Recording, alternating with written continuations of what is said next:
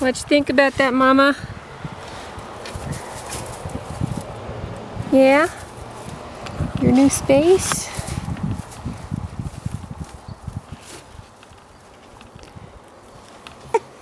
Pretty nifty.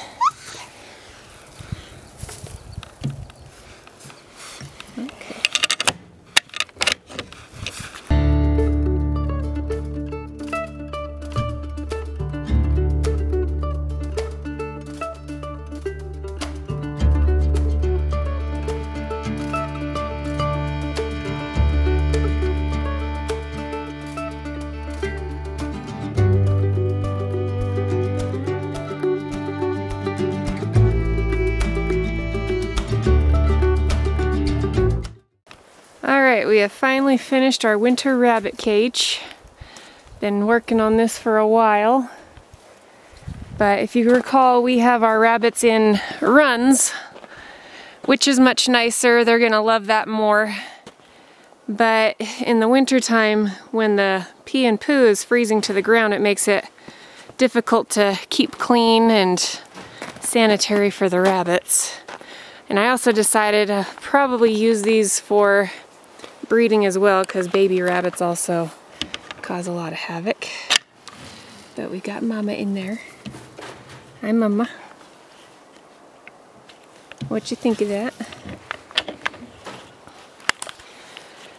And I'm pretty excited about it. It's not perfect, but it'll do. It's much better than the, a typical wire cage. I wanted something that would keep the rabbits warm in the winter uh, and then we've got some puppy litter trays down below right now. I still want to do tarps or something to help funnel it to those pans. But each rabbit gets a hay feeder, their feeder, water bowl, and little mat to stand on. And pretty excited about it. They're not to like it as much as their, their regular areas, but it'll be much drier and cleaner for them, so... But we got the rabbits in there. They're all checking out the insides right now. I also designed this so that uh, the center splits into four different areas. So if we did have a really, really cold night, at least all the bunny bodies hopefully generated together keeps them a little bit warmer. So what I am suspecting we will have a problem with is rabbits pooping on the edges there where the wood is. So I'm hoping not. I'm hoping they poop more uh, in the divider between their cages because that's what they tend to do with their runs is kind of a territorial thing. They poop down the line. So we'll see how that goes. But yeah, just a quick video to share this and yeah, hopefully the hopefully the rabbits like it too. Oh, I forgot to mention we did line their doors, if I can show you, with, uh, my husband calls it plumber's tape, but I know it's called something else. It holds up uh, piping in your house so that's to help prevent them chewing on that. I'm not too concerned about the doors. They shouldn't get too much grip on there, but if not, we'll add some of that stuff on there as well. You can see Miss Honey Bunny in there. She's one of our shy girls. She seems to be digging it though. And uh, our our final cage right there doesn't have anybody in it yet because Miss Jujubee had a date with Calcifer.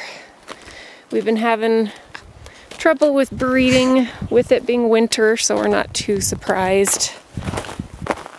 But Calcifer has enjoyed having the company. Let's see here. So they're in there snuggling right now. We've just been rotating the does uh, out of this pen uh, every two weeks. So that way if they are bred, there's another two weeks before they give birth. But Calcifer gets a buddy and they cuddle and they snuggle and everything, so they like it. I guess I should add that Calcifer gets to keep his area, at least for uh, the rest of this year. Since we have four does, they take up the every spot we have in that new cage. And his area, it tends to melt the quickest, and he keeps it pretty darn clean. He only uses his litter box over there. And so he gets to keep his nice large run, and then uh, the does will visit him every now and then for breeding, so. Lucky you, huh, Mr. Calcifer? And that's that. Thanks for watching, and I'll have to give you guys an update on how well this cage setup actually works. So, till next time.